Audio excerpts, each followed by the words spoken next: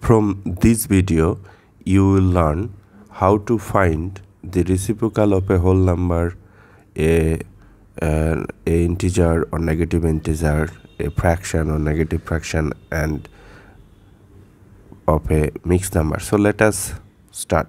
7 is an whole number. So what will be the reciprocal of it? Just you can rewrite this 7 divided by 1 and for finding reciprocal of 7 you just need to flip this fraction. That is 1 over 7 so the so how to find the reciprocal of a whole number? You have to write 1 as a numerator and you have to take that particular whole number as a denominator. And this is the rule.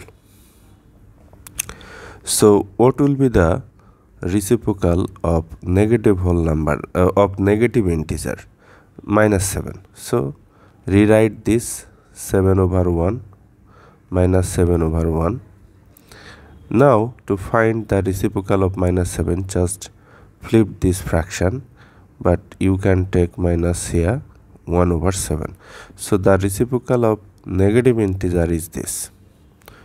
So let us consider fraction. What will be the uh, 2 over 7 let's say.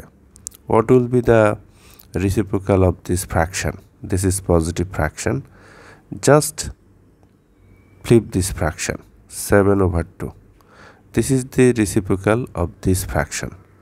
So now take another example. What is the uh, reciprocal of negative 2 over 7 nothing just you have to write 7 and 2 just you have to flip flip this fraction and you need to uh, draw a negative sign along this uh, bar this negative sign can go with this number or this number. Okay? So now what is the mixed fraction uh, what is the reciprocal of this mixed fraction? Can you tell me? Okay so to find out the reciprocal of mixed number, at first you need to convert this mixed number to uh, mixed number to uh, improper fraction. How to do that? Just you have to multiply uh, whole number times denominator plus numerator.